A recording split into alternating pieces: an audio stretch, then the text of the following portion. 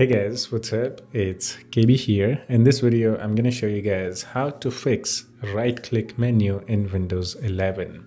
Check this out. This is my new right click menu in Windows 11.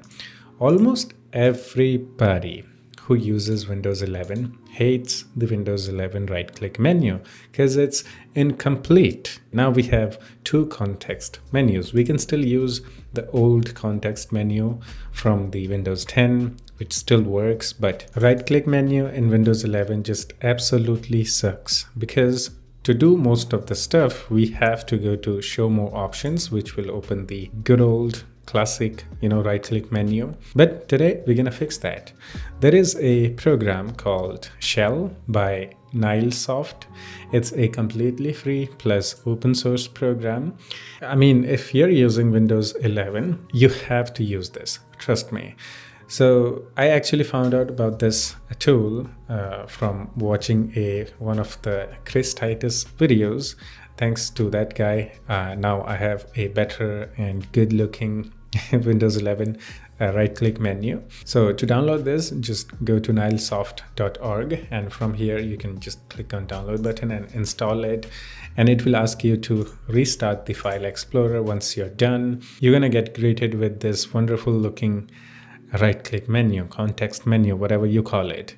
It has everything in one place. That's the one thing. And uh, it looks amazing. And there is actually a beta version available, which this beta version actually feels more like Windows 11 you know context menu. It has that you know transparent or translucent thingy going on so it matches with the Windows 11. But even the stable version 1.7 still looks good. I mean, I, I, I, I, I don't want to complain. Just look at it. This is a right click menu. You have everything, plus it has some extra stuffs.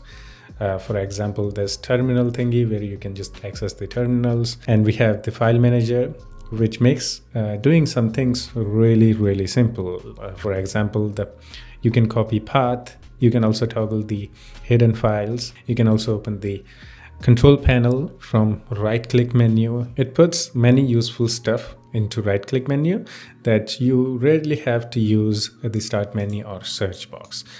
Really amazing. Okay, everything is here. Now let's uh, actually show you in files when you right click on file or folder. All right. So you can see everything is in one place. We don't have to click on show more options.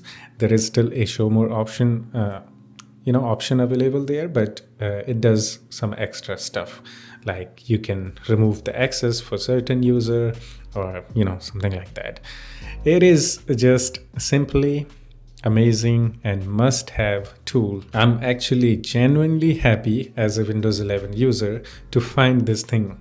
Yeah i'm just you know absolutely blown away. Plus you know it just fixes the uh, the most common issue in windows 11 which is the right click menu sucks. After this uh, that right click menu doesn't suck I don't know what I'm saying, but you know, you get the point.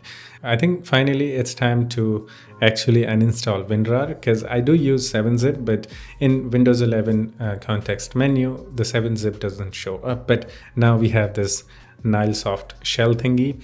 Everything is here. So yeah, it's time to uninstall many things that I don't use. Again, thanks to the Chris Titus video uh, in this topic. Finally, we have a better Windows 11 experience. This is a huge thing. if you still have any questions or have any suggestions, you can always do the comment and yeah, we can have some chit chat in the comments too. And yeah, that's it. Hope you enjoyed it. I will see you in the next one. Take care of yourself and have fun. Bye bye.